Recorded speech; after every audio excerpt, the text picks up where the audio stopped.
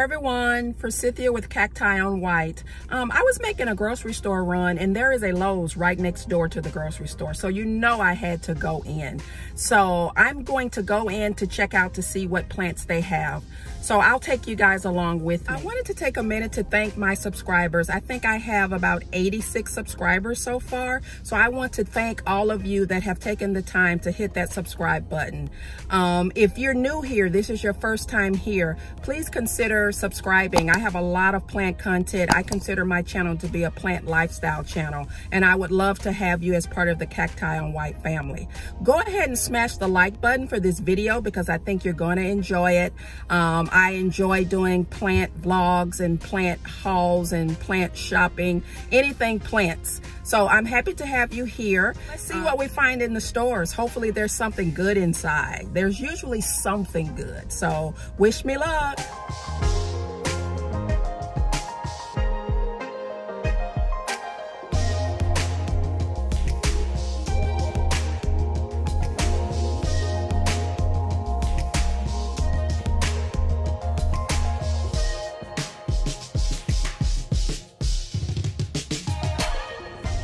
Guys, look at these large uh, sedums, Angelina Stone Crop for $5. If you've watched one of my previous videos, um, a couple of, uh, maybe a month ago, I picked up some sedums from a nursery in Grapevine, Texas, and they were much more than this.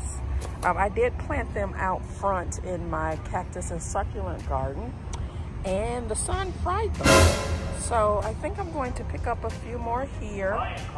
So I think I'm going to pick up a few containers at $5 each and repot them or replant them out front to give it another go. I like these lighter colored ones um, and they're pretty bushy, you can see.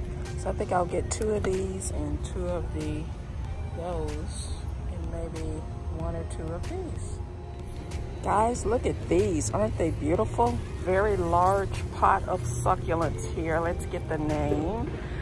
It is Lime Zinger Sedums for eight bucks. I'm definitely gonna get at least one or two containers of these. These are nice. I haven't seen these. And I think they'll be a great addition to my garden. Aren't they lovely? I did not stop here for sedums, but I'm going to pick up some. They look great. Sedums were definitely not on my shopping list today, but you just never know what you're gonna find in the big box stores. Guys, this is a rare find at a big box store, uh, at least in the Dallas-Fort Worth area. Um, maybe more prominent in the Arizona but this is a false ocotillo. So let me show you the label. False ocotillo, $13. I have a big pot of these that, and I just adore them. They remind me of the Southwest so much. I'm going to pick up two, I think. Aren't they gorgeous?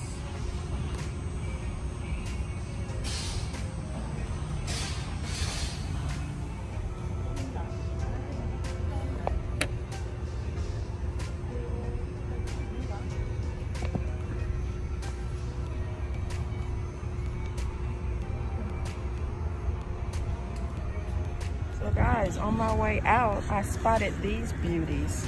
They are called Rock 'N Grow Boogie Woogie for $14. I just love these. So I dropped my purchases off in the car and I came back to get one of these. Great. Guys, I was headed out of Lowe's um, after purchasing my sedums and a cacti and I spotted these on my way to the car. Aren't they gorgeous? It's a variegated sedum. Um, the name is uh, Boogie Woogie by Proven Winners. I'm so excited about these. I think they're gonna look great. And look how large they are, the pot is. And they're $14, yeah, $13.98, so $14. Well worth it.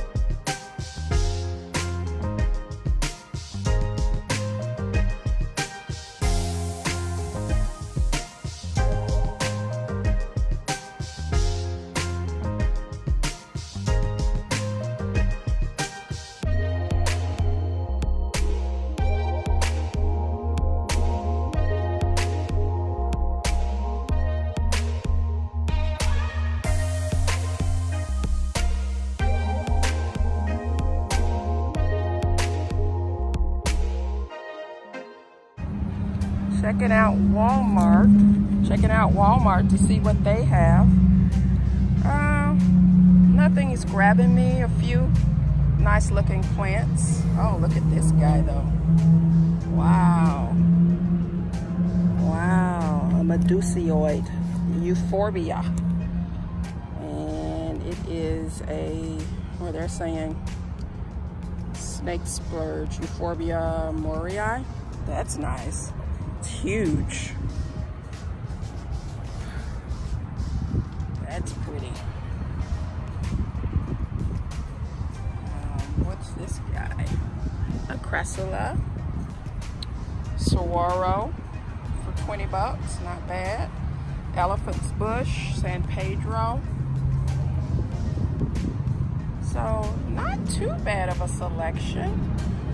Let's walk around, see what we got. See a cholla, one of my favorites, but I won't pick one up today. The only thing that's semi-tempting to me is the euphorbia over there. So, let me decide. They actually have some sedum here. The um, Sun Sparkler Lime Zinger. But since I just picked up three, I probably won't get that. Um, still contemplating. I probably won't get anything, even though this guy is quite tempting. Do you guys see anything that you would pick up? Some of them look a little rough, like overwatered. They are outside, so we've had a lot of rain. So I'm thinking they have had some issues with uh, being overwatered due to the rain.